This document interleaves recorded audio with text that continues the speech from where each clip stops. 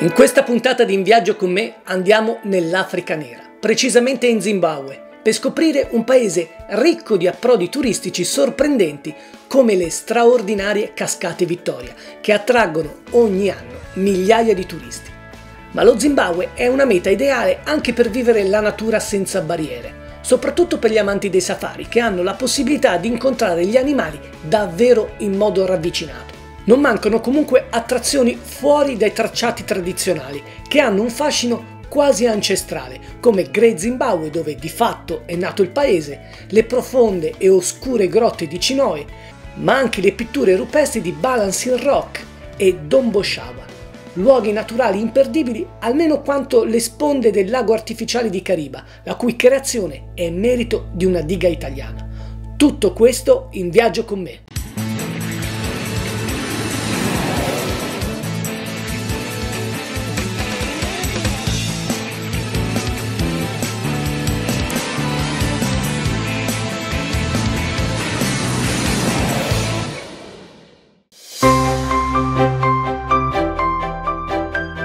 Arrivare in Zimbabwe non è proprio una passeggiata di salute. Dall'Italia ci vogliono almeno tre scali per giungere nella capitale Harare, che pur essendo una tappa obbligata non si distingue certo per attrazioni che valgono un viaggio di 15 ore. Bisogna quindi contemplare almeno uno scalo interno che approda a Victoria Falls, luogo che da solo vale tanta fatica. Prima di esplorare le cascate, il mio consiglio è di lasciarsi cullare dalle acque dello Zambesi, il fiume che dà origine alla grande attrazione del luogo. Le sue sponde segnano il confine geografico tra Zambia da una parte e Zimbabwe dall'altra, regalando al giusto orario tramonti da cartolina.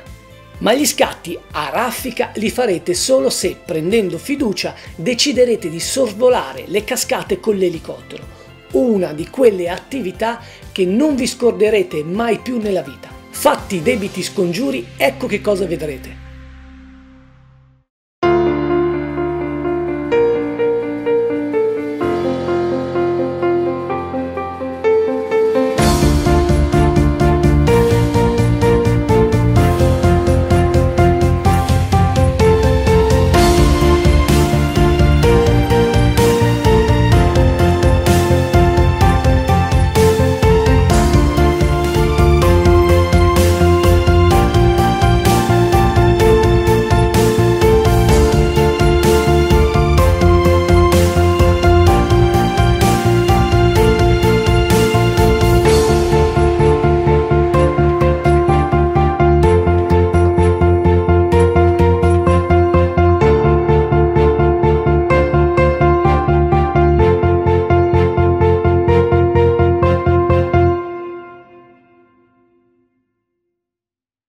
Ed eccoci alle cascate Vittoria, una delle sette meraviglie del mondo. Qui l'acqua cade a un'altezza di 120 metri, il doppio rispetto alle cascate del Niagara. Pensate che la nuvola d'acqua generata dalla cascata può raggiungere un'altezza fino a 1600 metri ed è visibile ad oltre 40 km di distanza. Questo significa che qui una doccia extra non ve la leva proprio nessuno. Effettivamente per quanto spettacolari siano le immagini dall'alto, non meno impressionanti sono quelle dal basso, che permettono di vedere e sentire da vicino tutta la potenza dell'acqua che nella stagione delle piogge raggiunge una portata di ben 9000 metri cubi al secondo. Il fragore delle rapide è come quello dei tuoni e seguendo l'itinerario lungo il salto delle cascate avrete modo di rinfrescarvi vigorosamente con spruzzi improvvisi che garantiscono un secondo giro di shampoo non sempre del tutto desiderato.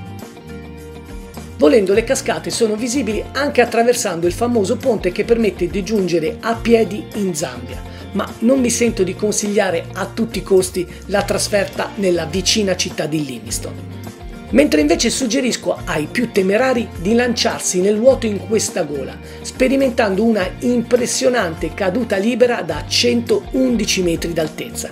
Test definitivo per le vostre coronarie.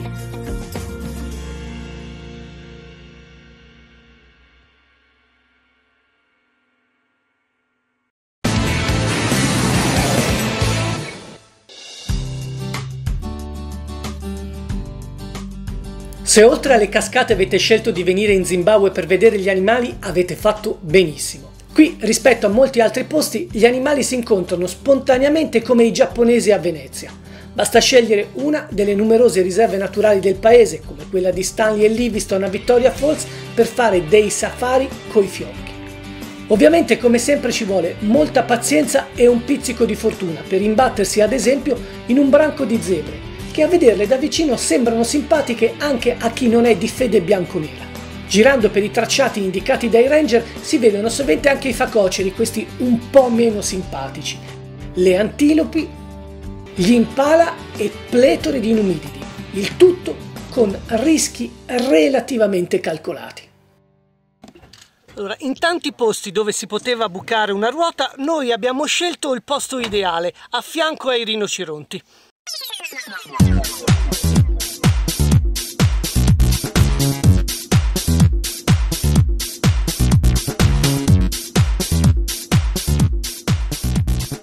La fatica fisica di cambiare una ruota vi posso assicurare che è ben poca cosa rispetto alla paura di vivere l'esperienza di un incontro ravvicinato con i rinoceronti, che tutto sono tranne che cuccioli da compagnia. Meno male che il tramonto ci ha regalato una giraffa decisamente più rassicurante. Spostandosi nella riserva naturale di Wange abbiamo avuto modo di imbatterci in esemplari di coccodrilli, di antilope alcine, bufali e molti elefanti, che nonostante il mio amore per Dumbo, a vederli a un palmo di naso mi hanno fatto una certa impressione. Aspettare il calare del sole da queste parti è pura magia. E siccome gli animali ci tengono a farci capire chi è che comanda da queste parti, a cena hanno voluto ribadire il concetto con discreta nonchalance.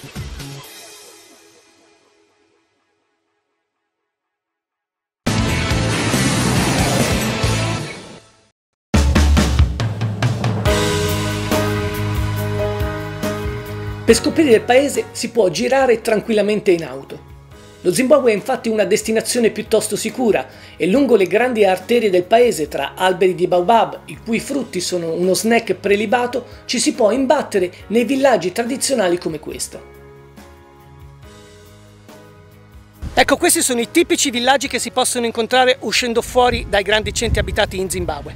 Questi villaggi sono molto caratteristici non solo per le peculiari case capanne con questi tetti spioventi che in inglese vengono chiamate proprio hat, come cappelli, ma anche perché qui ognuno ha la sua abitazione. Le donne stanno da una parte, gli uomini dall'altra, gli anziani e i genitori hanno la loro casa. Insomma, nonostante la povertà evidente, l'equilibrio familiare da queste parti regna sovrano e forse abbiamo qualcosa da imparare. Ma su una cosa noi italiani possiamo vantarci, sappiamo fare le dighe. Spingendosi al confino nord-occidentale si può infatti ammirare una grande opera di ingegneria nazionale, inaugurata nel 1959, la diga che ha permesso di creare il lago Cariba, il bacino artificiale più grande al mondo per volume d'acqua, fonte essenziale per la fragile economia locale. Grazie al lago infatti qui sopravvivono senza troppi stenti piccoli villaggi di pescatori, come ci racconta l'esperto locale Takuna. Le barche che pescano prevalentemente i piccoli pesci capenta escono alle 3 del pomeriggio e rientrano alle 8 della mattina per 22 giorni consecutivi al mese e i pescatori si riposano solo durante il periodo di luna piena.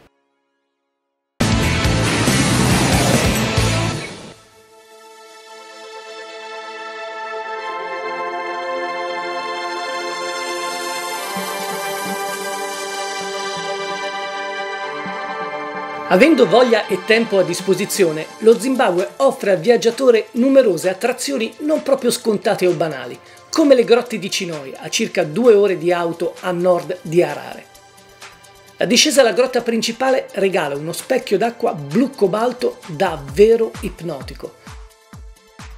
Mentre l'altra grotta, chiamata non a caso Black Cave, è pericolosamente buia e misteriosa e senza una torcia rischiate veramente la vita.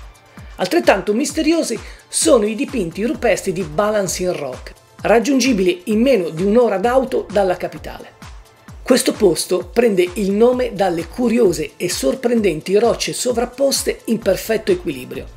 Per scoprire i punti più belli bisogna camminare parecchio, ma non mancano le sorprese.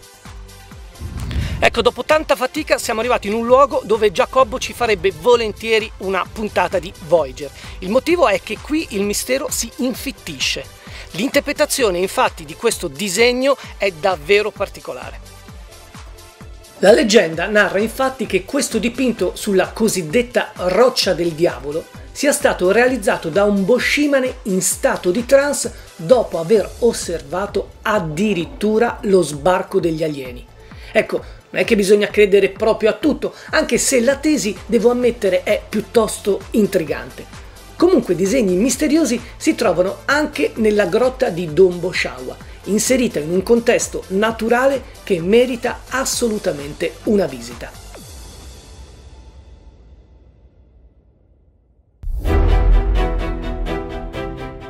Come è da non perdere il luogo che ha dato origine al paese, Great Zimbabwe. Si tratta del più importante sito archeologico dell'Africa subsahariana e si pensa possa essere il favoloso paese biblico di Ofir, quello da cui proviene la mitica regina di Saba. Le imponenti mura di cinta in pietra, le strutture labirintiche e i numerosi reperti trovati qui, compresa la statua dell'uccello divenuto poi simbolo del paese, confermano quanto sia speciale questa mistica attrazione. A conti fatti, lo Zimbabwe è proprio un posto tutto da scoprire.